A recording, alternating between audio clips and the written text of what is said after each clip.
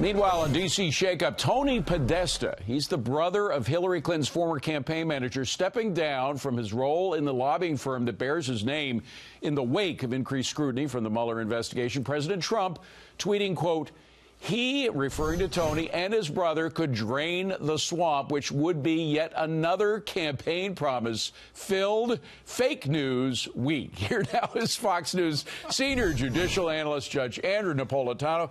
Judge, he does have a point, does he not? I mean, these Tony Podesta epitomized the swamp, the K Street lobbyists, uh, which is the swamp that he speaks of. Well, in fact, Tony and his company shared in common a client with Paul Manafort, which is the the former ruler. It's hard to say if he's a dictator or popularly elected. The former ruler of the Ukraine, who's the good buddy of uh, of Vladimir. But Putin. it just shows again. You have this lifelong Democrat Podesta, uh, the Republican insider Manafort, working together Yes. on this one client. It shows that the swamp has no ideology and no party. well, what I agree It's, with you. it's on that. just into greed. But what we don't know, and is very interesting to me, is what prompted Podesta to leave. Was it his awareness of the indictment of Manafort? Was he doing the same thing as Manafort was, laundering uh, his money? Or has Bob Mueller been knocking on the door? And we just don't know about it because Mueller doesn't announce these things until there's an indictment or a guilty plea. Isn't it fair to assume that because so much of the Manafort indictment, which which I, I assume you've read, I've read it, has Oh, sure. to do with the work that Manafort did in Ukraine with Right. this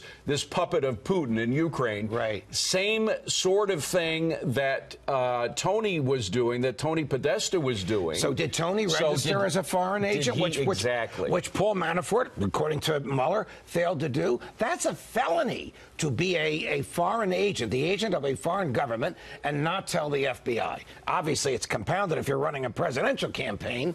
I don't think that uh, Podesta was involved with his brother. Well, what kills me is the chutzpah of his brother, John Podesta, now tweeting out things like, not bad enough that I was the victim of a massive cyber, cyber crime directed by the Russian president. Now I'm the victim of a big lie campaign by the American president. Here's a guy who makes millions of dollars uh, masquerading as a public servant, and he calls himself a victim. You know, I, I don't understand that other than that, you know, victimhood is, is uh, in vogue these days. And if you can get the crowd to think you're victimized, they'll start thinking about you What nerve? sympathetically. Well, I don't know what the allegation is against John Podesta. I can speculate, as we've been doing, what the allegation is uh, against Tony. But, David, there are no coincidences. There has to be a reason why he left his very lucrative business the very day, yesterday, that the indictment of his friend and Republican Paul uh, Manafort was announced. And wouldn't it be good for Mueller to show that he is hitting on both sides of the aisle? I mean, this would